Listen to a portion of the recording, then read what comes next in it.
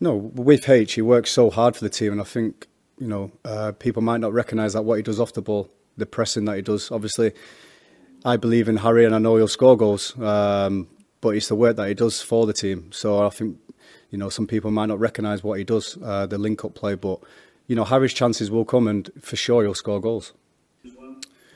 Well, Harry's had firstly Harry's had an unbelievable season with Spurs, and you know Harry is fit. He's you know he's working hard every single day in training, and it's just about you know uh, trying to get the chances to him. But he'll score goals, Harry. Um, and, you know he's working hard, and you know we, we, we all know we need to create as much as we can in the games, and for sure Harry will score goals. So, and he's working so hard for the team off the ball. And like I said before, I think people are not really seeing that and noticing that. But Harry's a fantastic professional, and for sure he'll start scoring goals.